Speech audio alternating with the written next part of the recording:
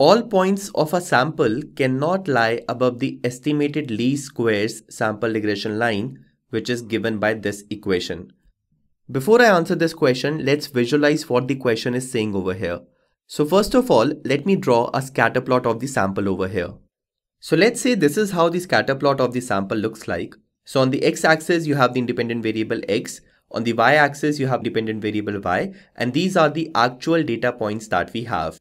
Now the statement that we are given is all points of a sample, that is these blue points that I have drawn, cannot lie above the estimated least squares sample regression line. That means the question is saying we cannot have a situation like this.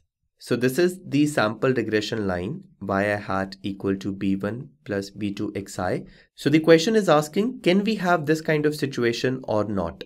So in this situation that I have drawn over here, all the points of the sample, that is these blue points, are lying above the estimated least squares sample regression line, that is this white line that I have drawn over here. Do you think this can happen? Well, the answer is no, this cannot happen. That means this statement is true. Now let's understand why is this statement true and we cannot have this scenario. Well, the reason is that in this scenario, so let's consider these x values over here.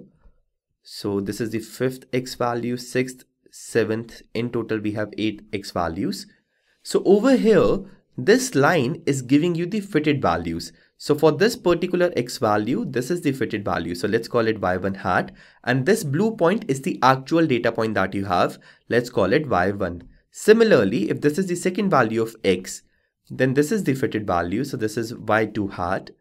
And this blue point that you have over here, this is the actual data point. So we are going to call it y2. Similarly, I can call this y3, this is y4, this is y5, this is y6, y7 and y8. So these blue points that I have labeled from y1 to y8, these are the actual data points. Over here we have the x values. So x1, x2, x3, x4, x5, x6, x7, x8. Note that we have only one independent variable over here. These are the different values of that independent variable. And corresponding to these x values, we have the fitted values over here. So this point is giving us y3 hat. This point is going to give us y4 hat. This point is giving us y5 hat. This point is giving us y6 hat this point is giving us y7 hat and this point is giving us y8 hat. So all the fitted values that you have over here are below the actual data points. Now, how do we define residuals? Well, the residuals are the difference between the actual y value, so the difference between the actual y value minus the fitted y value. That means the first residual is going to be this difference. So y1 minus y1 hat, this is your first residual and I can call it E1. So E1 is the notation for the first residual. y2 minus y2 hat, that is this difference. This is my second residual. This is E2.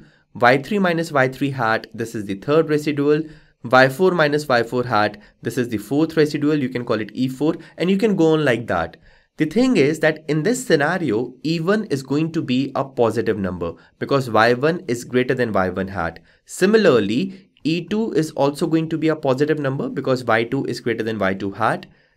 E3 is also going to be a positive number, E4 is also going to be a positive number and so on. So all of these residuals that you have over here, they are going to be positive. And if all of these residuals are going to be positive, are we going to have summation of the residuals equal to 0?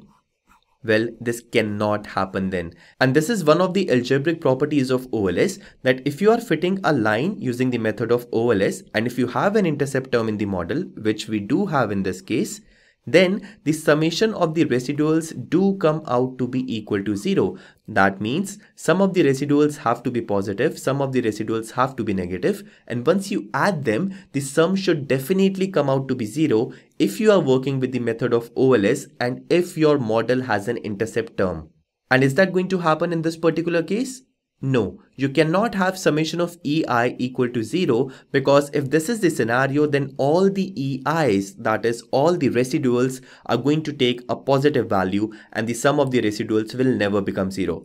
Okay, so till the time you're working with the method of OLS, you cannot fit a line like this. This will not happen. So this statement is true that all the points of a sample cannot lie above the estimated least square sample regression line. In fact, they can also make a change in this question. Instead of above, they can also write below. So they can reverse the situation and if they do that, then the actual data points will be below the fitted data points. But even that is not possible because if all the actual data points are below the fitted values, then all your residuals are going to be negative.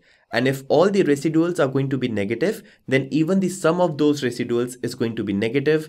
That is, the sum will never come out to be zero, which cannot happen. Okay,